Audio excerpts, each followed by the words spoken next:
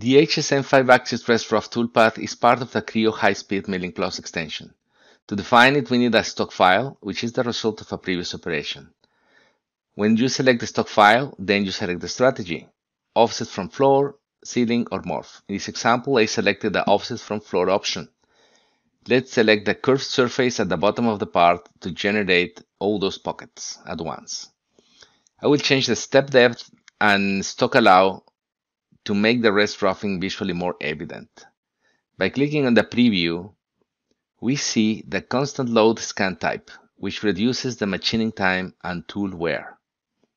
Now, let's do a material removal simulation. As a first step here, we need to retrieve the same stock model we used for the rest roughing calculation. As stock display option, let's select by sequence to see different colors reflected on the stock model per sequence. We can see that the result is a toolpath normal to the reference surface with collision checking between the tool and the part and the tool and any in-process stock model.